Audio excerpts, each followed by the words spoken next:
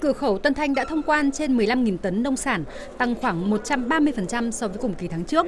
Cửa khẩu Hữu Nghị, lượng hàng nông sản xuất khẩu cũng tăng lên gần 100 xe mỗi ngày.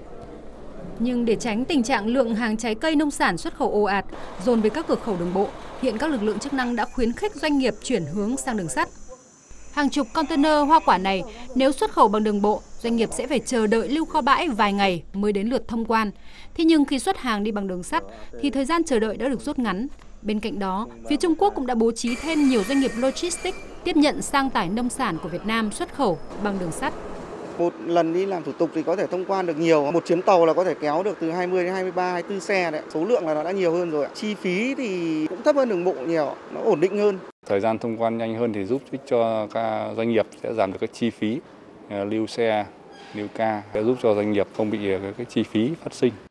Ban quản lý khu kinh tế cửa khẩu Đồng Đăng Lạng Sơn cũng khuyến cáo để hoạt động thông quan diễn ra thuận lợi, bên cạnh việc nắm bắt thông tin đối tác, các doanh nghiệp cần chủ động thực hiện việc khai báo đầy đủ, kịp thời thông tin trên nền tảng cửa khẩu số.